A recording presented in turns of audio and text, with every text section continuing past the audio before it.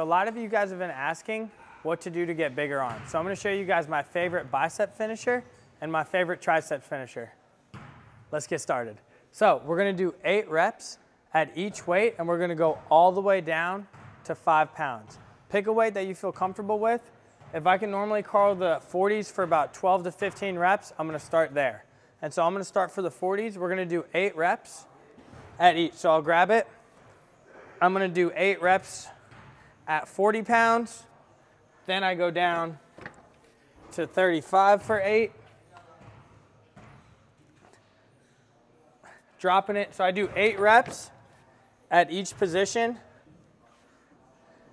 All the way down. And so what we're doing here is, guys, this is the ultimate drop set.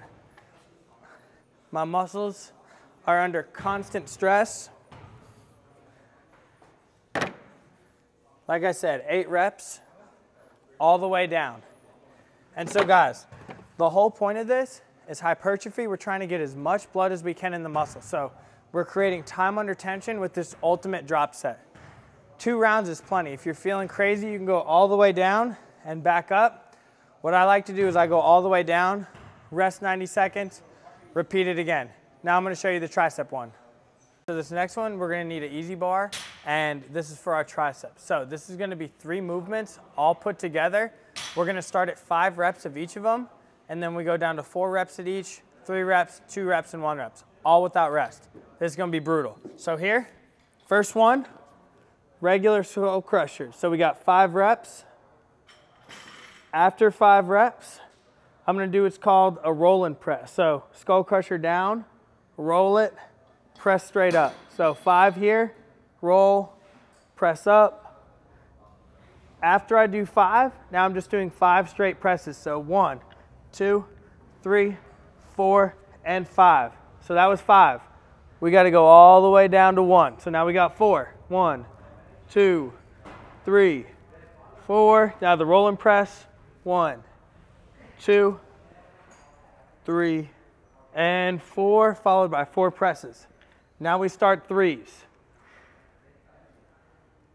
Three, roll and press for three, and then three presses. You guys get the idea? So again, whenever we're trying to do a finisher, we want a lot, a lot of time under tension. We want to constantly stress that muscle and get as much blood as we can in there. And so quick recap here, we've got skull crushers, the rolling, uh, roll and press, and the straight up press. We're gonna start at five for each of them, go down to four, three, two, and one. Two to three rounds of that will be plenty. All right, guys, so to recap, that was my favorite bicep and tricep finisher. Notice how I said finisher. You don't wanna start with those things. Just like in your regular program, you wanna start with something heavy. So if I'm doing a leg day, I probably start with heavy squats or heavy deadlifts. It's okay to start with heavy curls or heavy, heavy dips, guys. You guys can start with something heavy and progress it. I know so many people just show up to the gym and, oh, let's just hit arms today. Guys, you still gotta have a purpose to your program. So just like I do or anyone else, you guys should properly uh, plan your program. The same way goes with arms. Don't treat arms as a rest day. If you guys want bigger arms, you have to program it. And like I said, start with something heavy, six to eight reps, and the next block, take it down to 10 to 15, and then in that finisher block, do something like ride the rack or do that tricep thing. Try to stress that muscle for a minute or even longer. Like I said, drop sets are great when you're doing arms, guys, but you also can't be afraid to actually put some weight on the bar and move them. And like I said, for your biceps, if you guys really want to try to get those biceps to grow, try something like weighted chin-ups. And if you guys want something for your tri triceps to grow, try something like a close grip bench press, something really heavy, really hit those triceps hard. Exercises like that, those big compound lifts, should be something you start with and then save the curls and the skull crushers, save that for the end of your workout. So guys, I hope you learned something today.